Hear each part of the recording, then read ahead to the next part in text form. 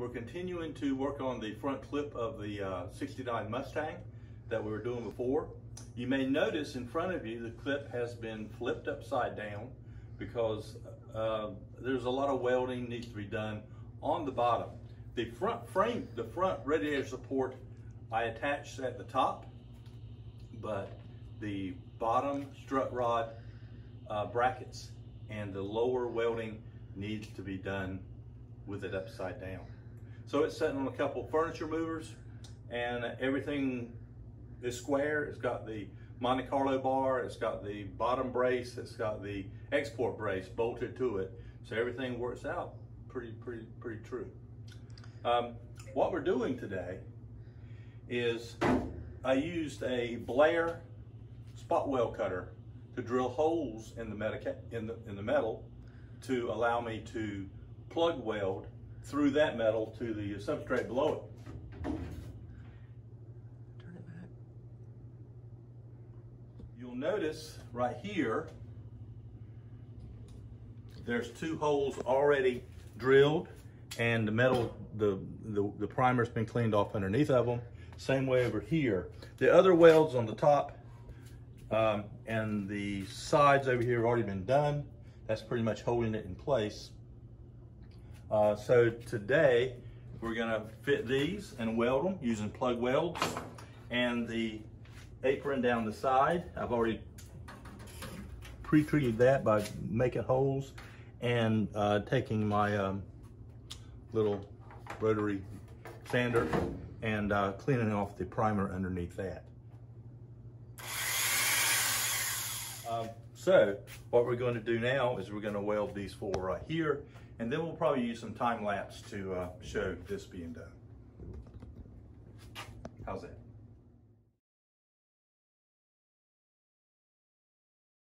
You recorded it. I mean, it, Go.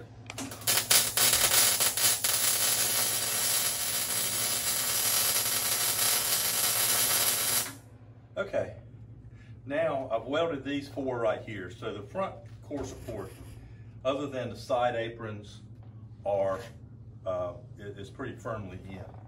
Uh, now we're going to drill some holes using the uh, Blair spot well cutter. It does a great hole, and underneath of it, it will give me an imprint of where I need to grind the uh, um, uh, primer off so that the uh, plug weld will work properly.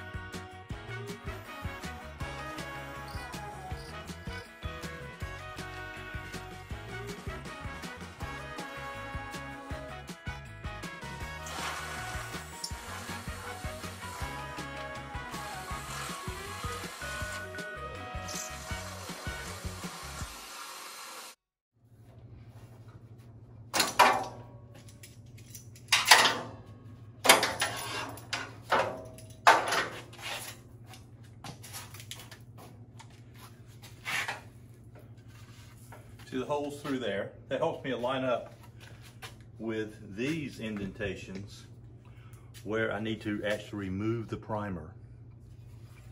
Um, and right here too. Um, I also have lines drawn that helps me place it back right there.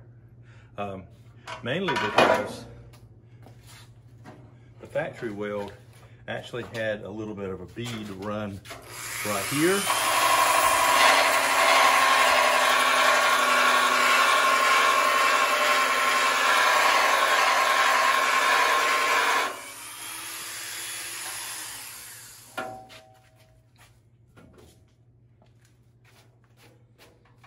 And I'm gonna run it right here too.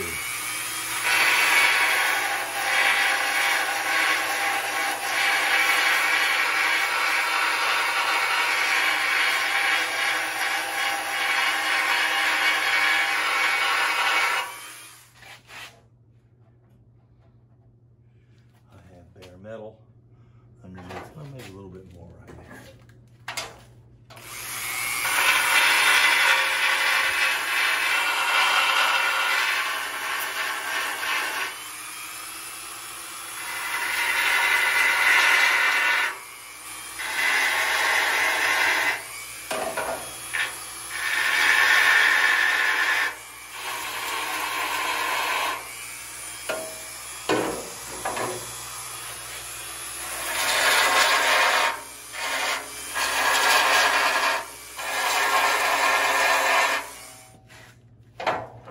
Put these back.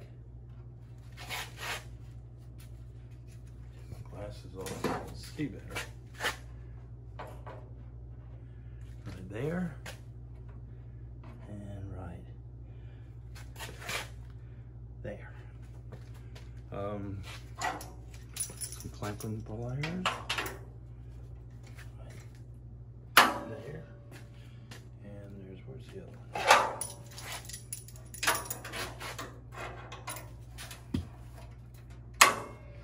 Okay, now we've got places to weld one, two, three, four, seven, plus a bead here and a bead here. Let's get to it. Okay, so we've got our holes drilled and we have the primer uh, removed underneath where the plug welds are going to be. Four here, three here, and we also have the, the primer removed on the leading edge and the trailing edge of this bracket um, to put the welds there. So what I'm gonna do is I'm gonna go ahead and plug weld these. This is pretty heavy, heavy gauge stuff. So I, I tend to go a little hotter on this. All right.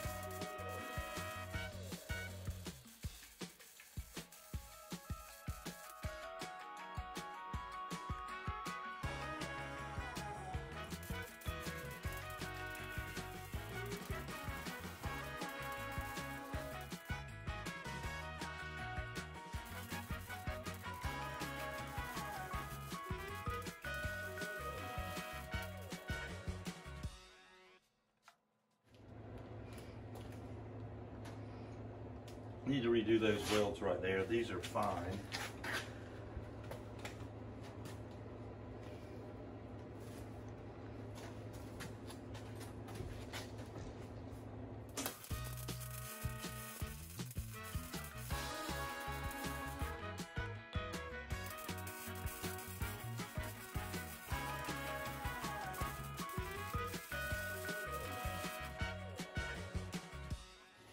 Um, it's an okay weld. Um, now, what I'll do,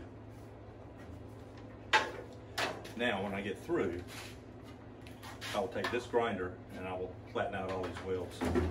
And uh,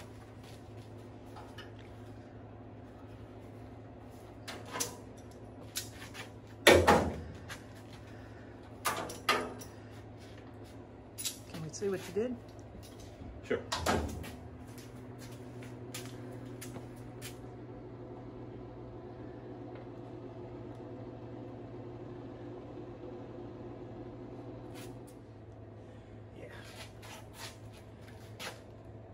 You doing? Uh,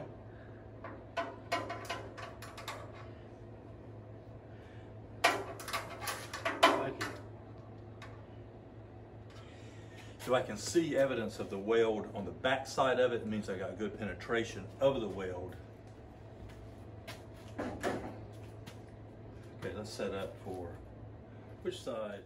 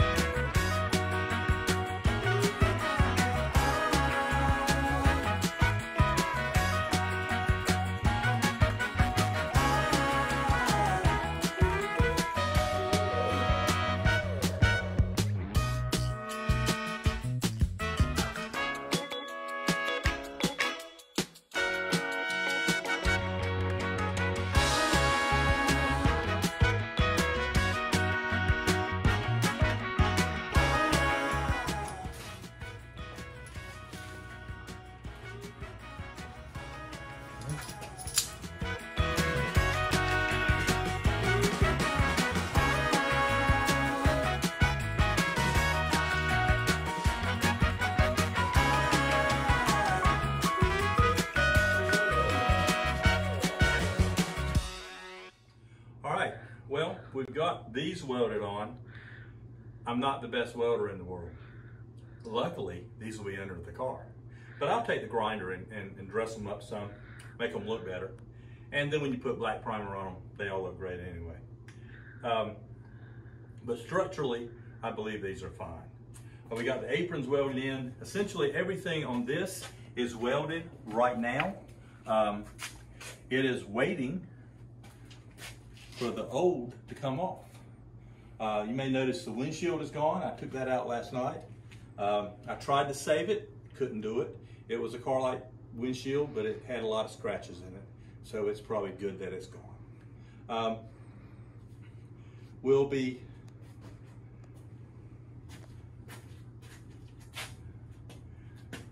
probably confirming a lot of measurements before we do any cutting here, but what for, my plan is to cut this part off first, um, then the shock towers off, and then we'll take the cutters and cut the uh, firewall out, the first part of the floor, and the torque boxes, and we'll create a big void where uh, this will go.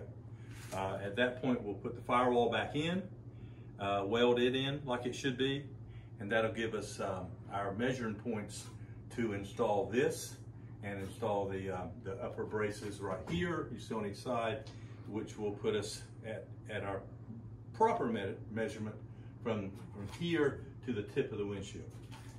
Um, I also have marks drawn on, on the upper cowl where the apron will sit. Hopefully they'll, they'll, they'll line up.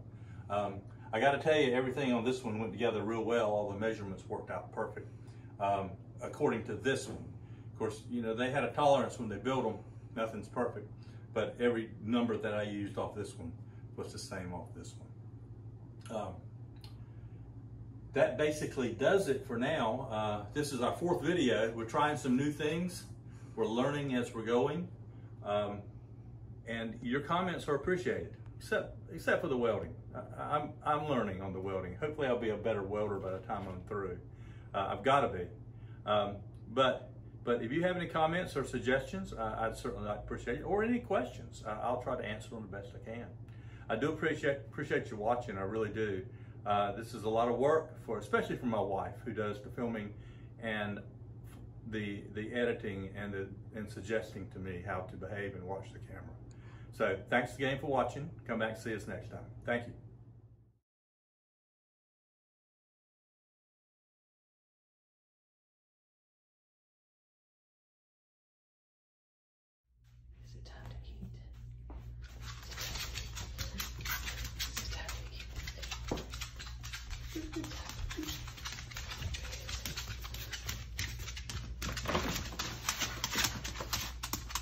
Here's a towel. Here's a towel. Here's a towel.